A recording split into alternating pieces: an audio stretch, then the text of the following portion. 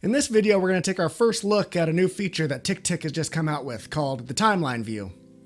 Now, this feature is only available on beta, and it's only available for premium users.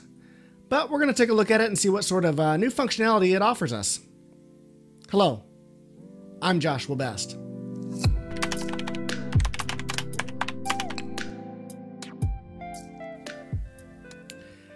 Alright, so to get started with the new timeline feature in TickTick, the first thing to know is that it's only out in beta right now, which means it's not available on the regular web app, it's not available on the Windows app or any of the other regular apps.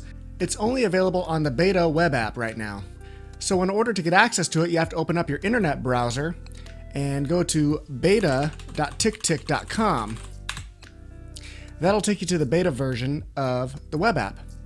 And that's where this feature is available at right now. Now, hopefully it, it comes out of beta soon and we can all use it on the various apps. Uh, but for right now, it's only on beta.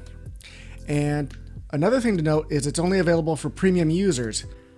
All right, so let me make my TickTick full screen. There we go. And where you're going to find the new feature at is on a list. So I'm on my major projects list. And if you go up to the three dots towards the top, you can see they have a new view list, which used to be able to see Kanban view and list view over here on the main menu. They now have a submenu called view, which also has the timeline view. And so that's where you're gonna get to the new feature of timeline. So let me just click on that. And this is what the timeline looks like when you first open it up. So basically what this is, in my opinion, is it's another calendar view so if I look at the top, I see March, I see April, and I see dates across the top. Today's April 4th, and it's highlighted in red. And so this is just another view of the calendar. So if I want to add a task to my major projects list, within the timeline view, I just click. Since I clicked on April 5th, it automatically put April 5th as the due date. I'm going to say new task. And I'm going to click off of it. So now you see I have new task and it's due April 5th. But let, let's say that I know that it's going to take me at least two weeks to get that done. So what I can do is I can just take the end of it and I can drag it uh, all the way to two weeks. So let's say all the way to April 18th, that's 14 days. You can see it kind of tells me that. All right, so we've added our first task using the timeline view. It's a new task. It starts April 5th and it ends on April 18th, which is a duration of 14 days. Now, let's say that I already have some tasks in my major projects list, which I do, and I want to throw those on here. So what I can do is I can click on the icon on the right that says Arrange Tasks. And here's all the tasks that I have within major projects. And I can just pick them and drag them on here. So project A, uh, let's start on April 9th, and it's gonna take, you know, seven days. I can grab this prepare task, drag it on here. Let's say that it can't start until after project A is done. And it's going to take three days. And wrap up the project. It can start on the 20th. And it'll last a couple of days. And let's just throw one more on there right here. Presentation, it has to happen. Um, and I only have two days to get that done there. So you can see that Within my list here, I can schedule things out and I can see what's going on at the same time using this timeline view. Now right now, all of the tasks are gray and that's not very useful. So there is um, another icon over here on the right called View Options.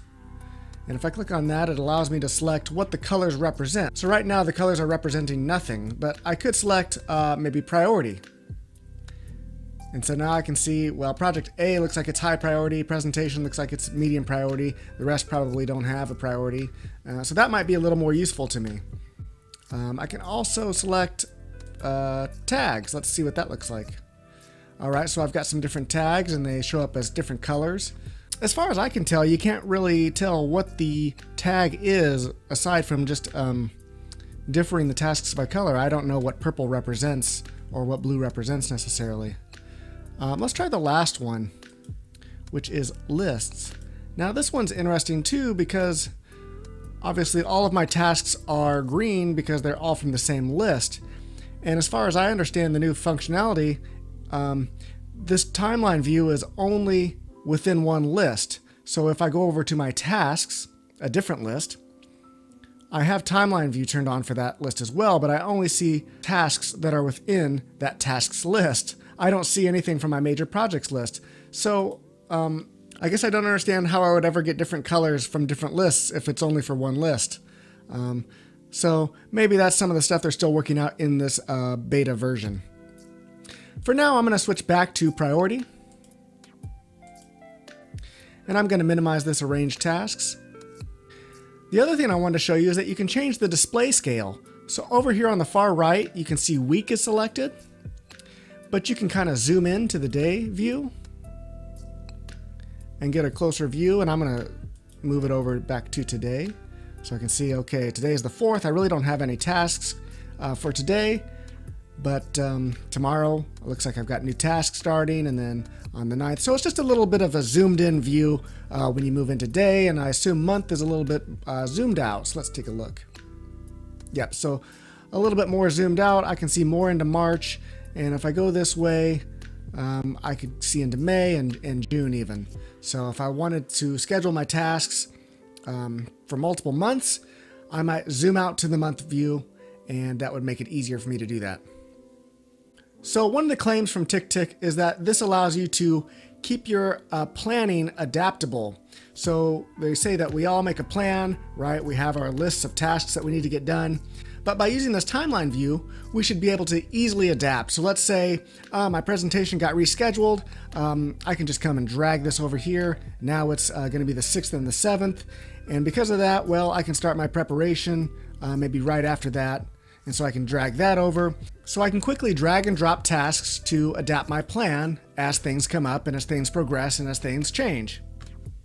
Well, that wraps up our first look at the timeline view. You know, in my opinion, it's not that much different than the calendar view, which I don't use that much, really, at all. And I don't envision myself using the timeline view at all either. Uh, but for someone who uses durations and likes to schedule out their tasks, uh, this might be very useful. Well, anyways, Thanks for watching. Have a good one.